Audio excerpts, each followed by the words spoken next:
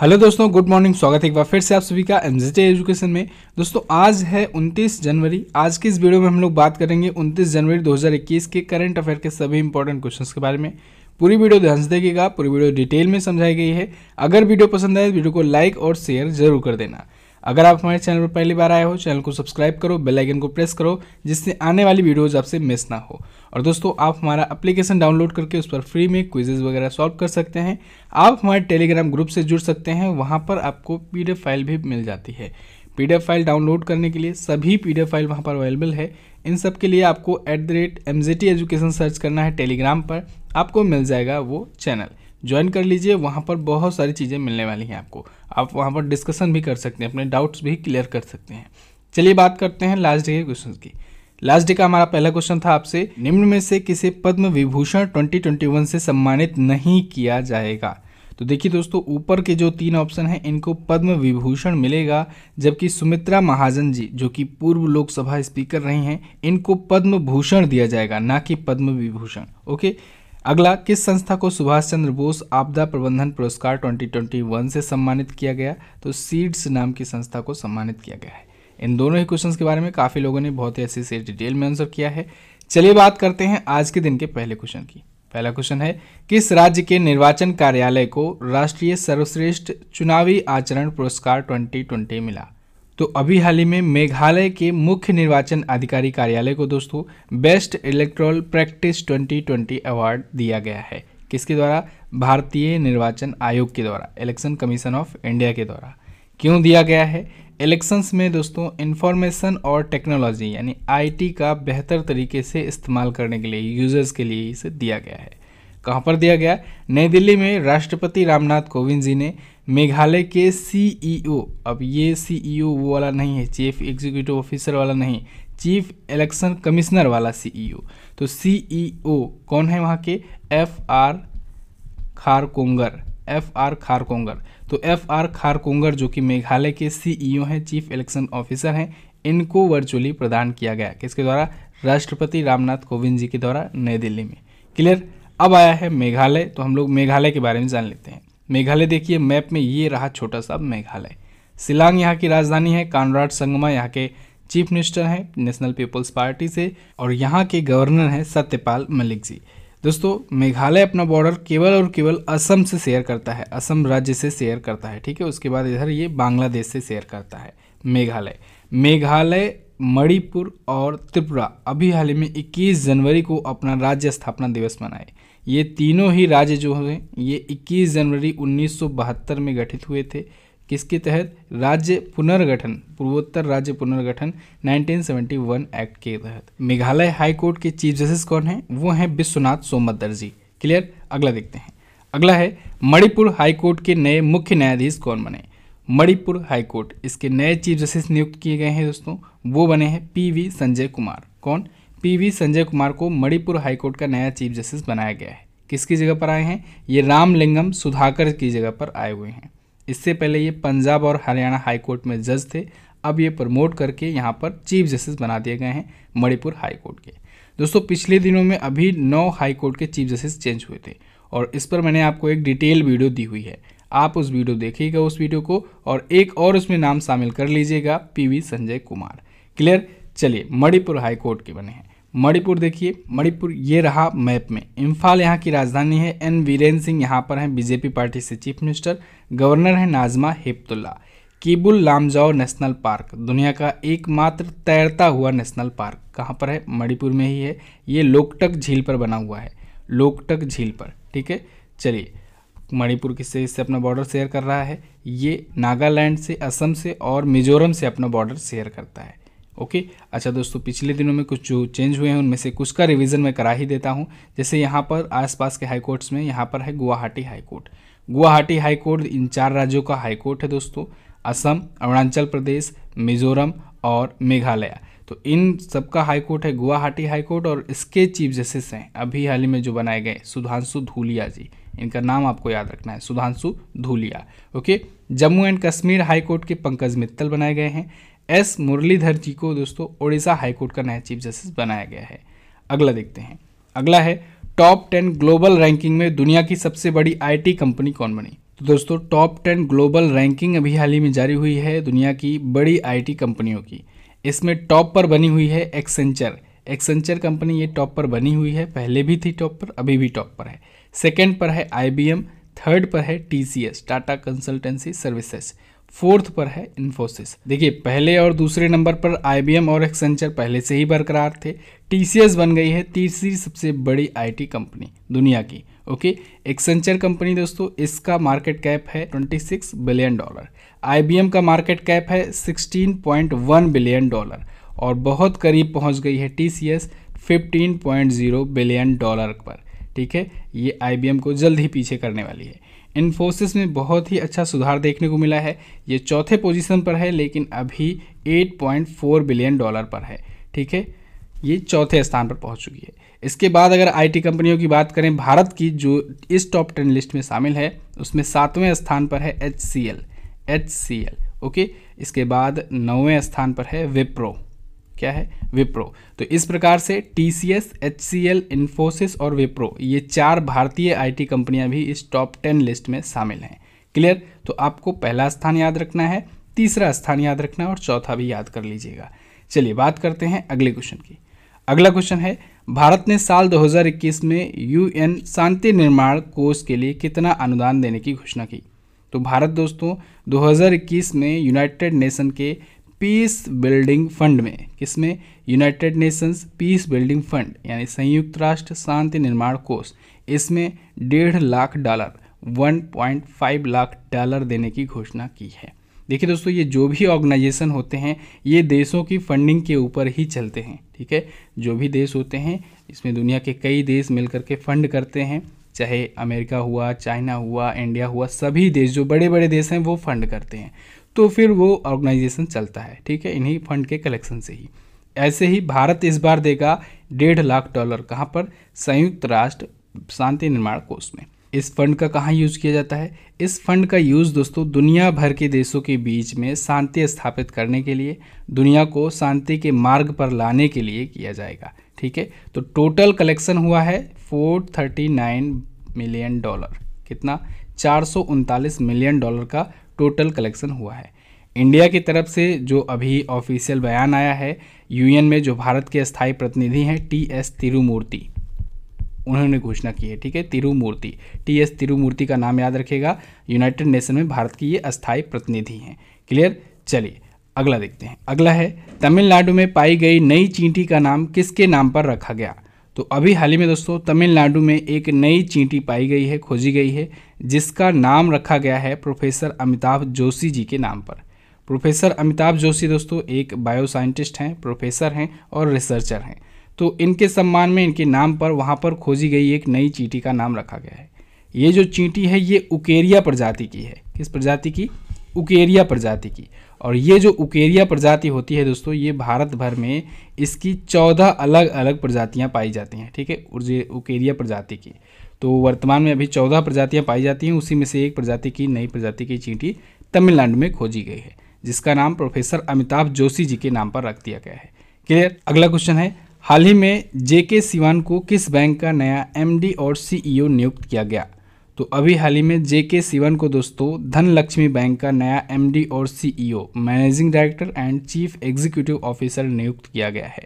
Dhanlaxmi bank, Kerala में स्थित एक बैंक है।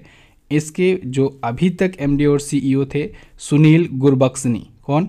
सुनील गुरबक्सनी तो उनकी जगह पर जेके सिवन को अब नियुक्त कर दिया गया है। क्लियर? धनलक्ष्मी बैंक की स्थापना दोस्तों हुई थी 1927 में। त्रिशूर केरल में है इसका हेडक्वार्टर कहाँ पर? त्रिशूर केरल में। चेयरमैन है मिस्टर संजीव कृष्णन। कौन है? संजीव कृष्णन जी हैं। अगला देखते हैं। अगला है, हाल ही में चुनाव आयोग ने किस नाम से digital voter ID card launch किया? तो अभी हाल ही में चुनाव आयोग ने ई इपिक नाम से एक digital voter ID card launch किया है। डिजिटल वोटर आईडी से क्या होगा?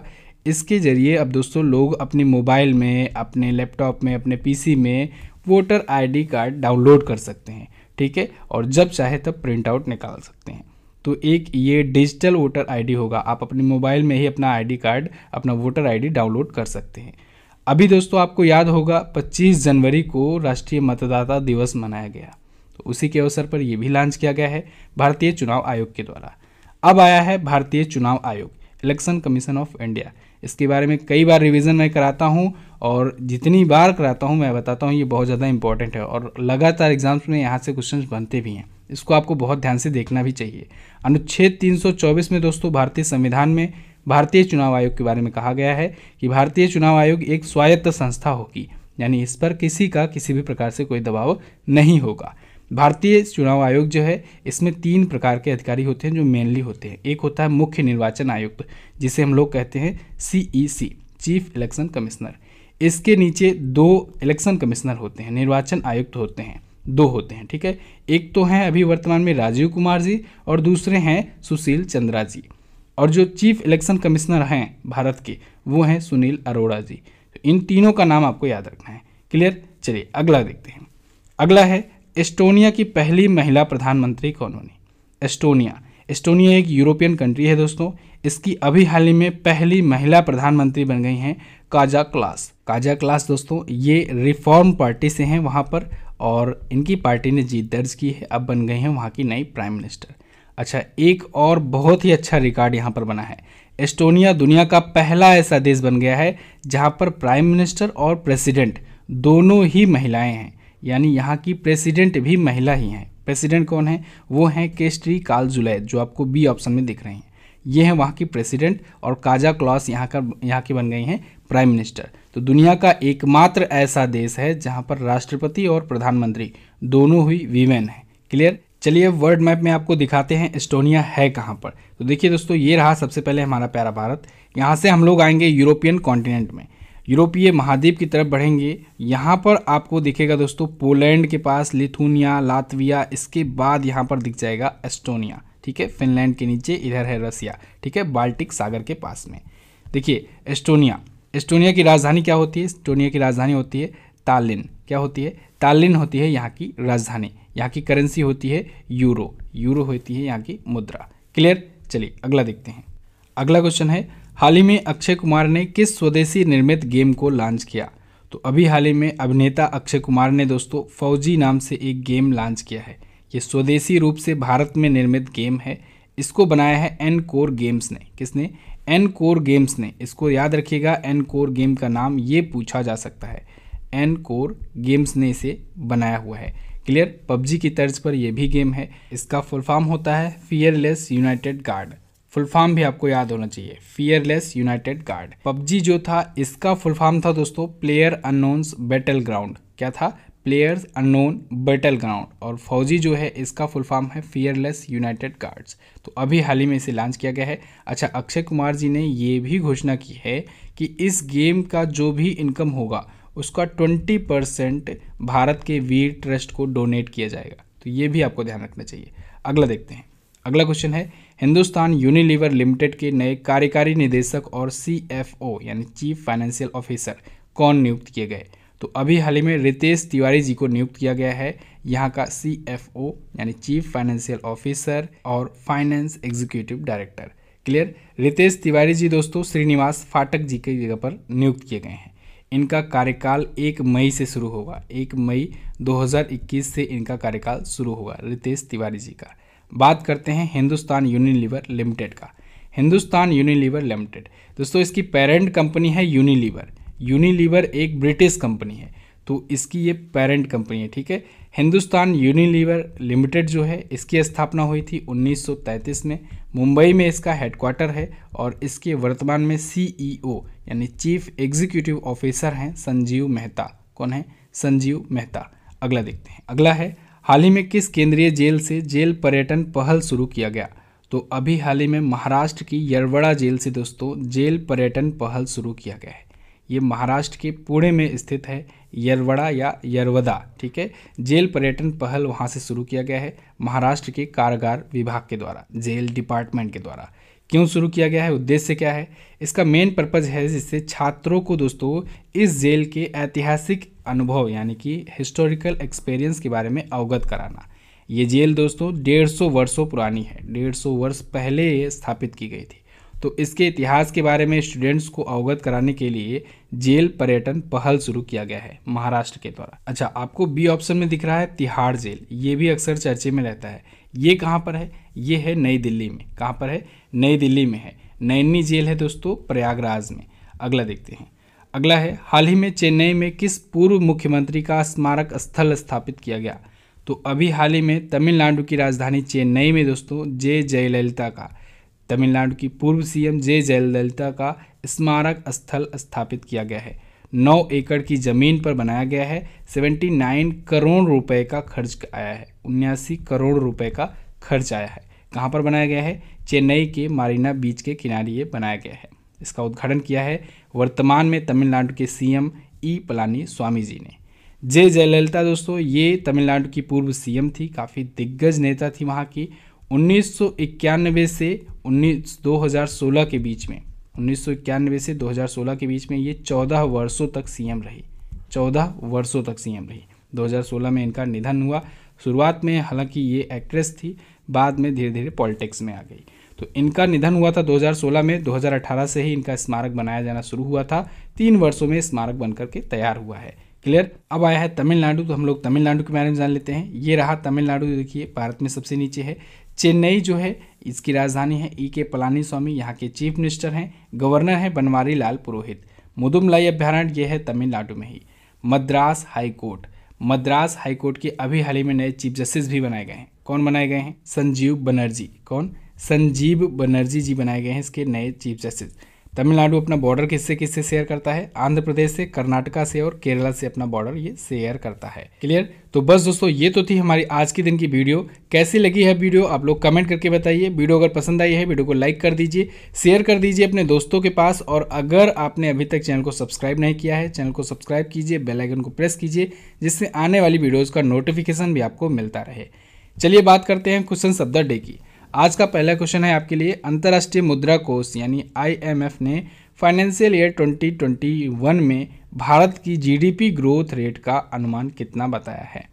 अगला है, निम्न में से कौन सा वीरता पुरस्कार शांति के लिए दिया जाने वाला सर्वोच्च पुरस्कार है? दोनों ही क्वेश्चन बहुत अच्छे क्वेश्चन हैं, दोनों के बारे में आपको जो भी पता हो डिटेल में लिखिएगा।